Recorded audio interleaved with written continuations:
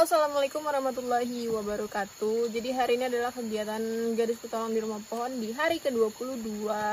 Dan di hari ini uh, aku sendirian karena memang kemarin di video yang kemarin uh, baru aja semalam ada yang komen kalau misalkan uh, pengen ngeliat aku sendirian. Katanya kalau misalkan dibantu sama babe itu ngelihatnya jadi nggak enak karena babenya cowok. Padahal memang uh, Babe itu adalah saudara dan kebetulan nggak cuma berdua sama Babe aja tapi ada teman yang ngebantuin juga jadi bertiga kan. Tapi berhubung ada yang komen begitu dan ya sudah aku memutuskan untuk Be nggak usah sini dulu kayaknya aku harus sendirian dulu. Jadi ya udah kita coba dulu kita sendirian karena aku udah lama gak sendirian juga kan.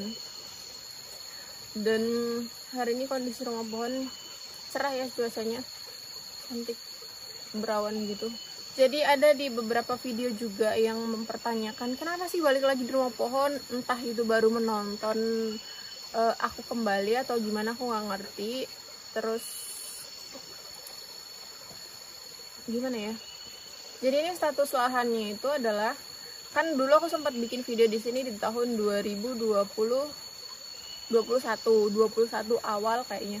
Aku pindah membuat rumah pohon di sini dengan bentuk yang sama tapi uh, untuk bentuk rumah pohon atapnya itu tuh berbeda. Jadi dulu tuh cuman kayak rumah pohon biasa yang atapnya itu tuh cuman miring gini doang. Dan ada ini kan lahan sebelah sini adalah lahan uh, kebun saudaranya babe saudara dari babe. Jadi itu ad, pernah bilang kalau misalkan lahan ini tuh nggak boleh dipakai lagi katanya orangnya marah. Karena uh, apa ya kebunnya itu tuh kita buka. Padahal kita udah izin sama yang menggarap kebunnya. Terus ternyata itu adalah pemilik yang baru yang enggak yang bukan sebenarnya bukan nggak mengizinkan sih. Cuman dia mempertanyakan ini siapa yang bikin ini? Terus pas waktu udah ketemu dan ternyata orangnya malah seneng aku aku buat rumah pohon di sini karena kata dia bisa sekalian dipakai juga untuk dia ketika berkebun. Jadi kalau misalkan dia lagi menggarap kebunnya. Jadi kan ini menggarap lahannya. Jadi ini kan e, sebenarnya dulu tertutup banget ya kayak hutan banget. Terus penuh hutan bambu juga. Dan sekarang ini lahannya udah dibuka. Terus bambu-bambunya udah pada habis karena mau dijadiin lahan untuk pertanian seperti terong, jagung, terus labu kuning dan sebagainya deh. Jadi ternyata pas ketemu tuh mereka seneng karena ini aku buatin. Karena kan di lahannya mereka belum ada pondok seperti ini kan. Jadi ketika mereka lagi di lahannya terus ketika hujan mereka bisa sambil berteduh di sini. Jadi eh, seenggaknya mereka tuh seneng karena dibuatin rumah pohon lah intinya. Pokoknya pada intinya adalah aku udah diizinkan 100% untuk menggunakan lahan ini. Jadi kata yang punya lahan pakai-pakai aja nggak apa-apa. Terus juga aku kemarin pengen uh, ngebersihin izin dulu. Terus katanya nggak apa-apa dibersihin aja sekalian. Kan hitung-hitung ngebantuin untuk membersihkan lahan uh, perkebunannya dia. Jadi kemarin tuh dia ngebersihin lahan sebelah sananya aku ngebersihin lahan sebelah sini. Cuman memang belum semua. Terus ada beberapa pohon pinang yang terlalu rapat itu dia bilang udah tebangin aja nggak apa-apa daripada mengganggu. Terus kalau terlalu rapat juga nggak bagus jadinya jadi beberapa ada yang aku tebangin itu memang seatas izin yang punyanya. Jadi ini sebelah kanannya sih belum semua sama sebelah kirinya belum terlalu banyak yang aku bersihkan karena masih tahap proses untuk pembersihan lah. Karena kemarin aku fokus pembuatan rumah pohonnya dulu. Jadi aku selama pembuatan proses rumah pohon ini kan aku nggak pernah bikin video-video yang lain ya entah kayak dari pendakiannya atau bushcraftnya itu aku aku nggak pernah lagi jadi kemungkinan setelah uh, apa namanya setelah project rumah setelah project 30 hari di rumah pohon ini kemungkinan besar aku akan uh, melakukan untuk melakukan kegiatannya di bushcraft. Jadi memang basic aku kan dari awal pendakian bushcraft dan solo camping bukan rumah pohon. Tapi kebetulan memang banyak yang senang rumah pohon jadi ya udah aku bikin rumah pohon sampai beberapa kali kan sampai pindah pindah pindah pindah karena yang sebelah sana rusak terus yang sebelah sana uh, apa namanya nggak pun nggak ada lahan bambu jadi proses pengambilan bambunya itu tuh jauh dan lama. Jadi pindah ke sini lagi sampai e, bambunya malah udah pada habis. Tapi ke, tapi untungnya ini rumah pun udah jadi pas bambunya udah habis. Dan kemungkinannya itu aku bakalan melakukan kegiatan aku untuk di bushcraft dan solo camping. Karena di belakang sini kan ad, yang ini kan udah dibuka gitu lahannya dan sebelah sana belum. Jadi eh, yang sebelah sana kemungkinan bakalan aku pakai untuk kayak bushcraft dan solo camping gitu. Kayaknya seru sih. Karena aku udah lama banget nggak kayak gitu kan. Jadi kayak ada rasa eh kapan ya? Seru nih kayaknya suasana bushcraft jadi kangen. Dan kemarin aku dapat beberapa DM dari Instagram dari sahabat-sahabat aku di YouTube jadi pada nge-DM di Instagram aku di at dia Maharani 0112 pokoknya itu deh. Jadi banyak yang nanyain kenapa aku nggak pernah upload video terbaru? Terus kenapa aku videonya itu tuh satu bulan yang lalu? Video barunya ke mana? Kok nggak ada? Padahal itu aku selalu upload video terbaru terus tiap hari. Sampai di project rumah pohon yang di 30 hari di rumah pohon ini mereka nggak bisa nonton.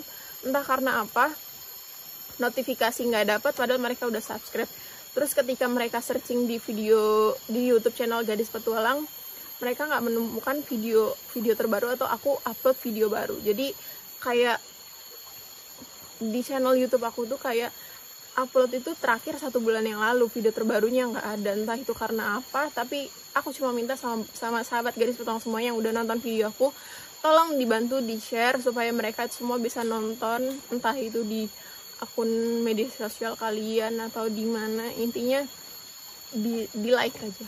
Di like dan di share pokoknya setiap nonton jangan lupa untuk like dan share like dan share. Itu sangat membantu banget untuk aku supaya penontonnya banyak lagi seperti dulu. Karena dulu tuh banyak banget yang share banyak banget yang komen banyak banget yang like. Jadi rekomendasi YouTube itu langsung melejit naik drastis banget.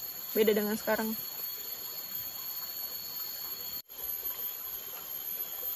aku kalau cerita kayak ngap gitu ya. Jadi kegiatan aku di rumah pohon ini kemungkinan besar hanya hari ini ya hari ke-22 ini kemungkinan besar hanya kayak bersantai dan membersihkan lahan-lahan rumah pohon yang masih ada bagian-bagian yang kotornya. Jadi kayak misalkan sampah-sampah yang di depan yang udah aku bakarin ini ada setengahnya itu yang kayak belum terbakar. Jadi mau aku bakar-bakarin terus sebelah kanan sama sebelah sananya mau aku bakar-bakarin juga pokoknya hari ini kegiatannya kayak hanya membersihkan dan bersantai-santai karena kegiatannya udah selesai. Kemungkinan uh, hanya diseling-selingin sama bercocok tanam dan lain sebagainya deh. Jadi proyek rumah pohon yang ke 30 hari itu aku selesaikan sampai di 20 hari, 22 hari ini aja. Jadi besok kita bisa langsung untuk uh, melakukan kegiatan bushcraftnya. Udah kangen banget ya sih karena kayak bushcraft itu lebih seru gitu lebih menantang. Karena proses pembuatannya itu lebih lebih bisa dilihat sama penonton semua. Terus juga aku bisa mengajarkan sedikit ilmu yang aku bisa untuk bushcraft di hutan. Karena aku lihat beberapa hari ini penonton gadis petualang tuh hanya stuck di 1000 penonton. Nggak masuk akal banget 23.000 subscriber tapi penontonnya hanya stuck di 4.000 5.000 paling banyak. Tapi udah seminggu ini hanya hanya 1000 aja. Entah kalian bosen atau gimana aku nggak ngerti. Tapi aku ingin merubah fashion. Aku di bushcraft dan solo camping dan pendakian lagi gitu. Jadi kegiatan bushcraft itu menurut aku lebih seru sih daripada di rumah pohon.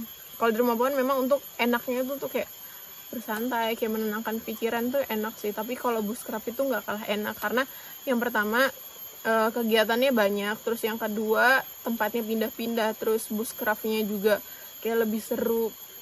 Apa ya kayak tempat-tempat untuk kita tinggalin terus kita buat bushcraftnya itu beda-beda gitu. Jadi udah beda tempat beda beda apa namanya beda proses pembuatan bushcraftnya ya intinya lebih menunjukkan kekreatifan kita gitu. Daripada kalau misalkan di rumah pohon tuh kayak cuma bercocok tanam. Tapi kalau misalkan di bushcraft itu lebih banyak kayak mengajarkan seseorang untuk kalau misalkan kayak tersasar di hutan gimana cara membuat shelternya terus apa aja yang bisa dimakan ketika kita tersasar di hutan pas ketika kita nggak punya makanan itu lebih banyak ilmunya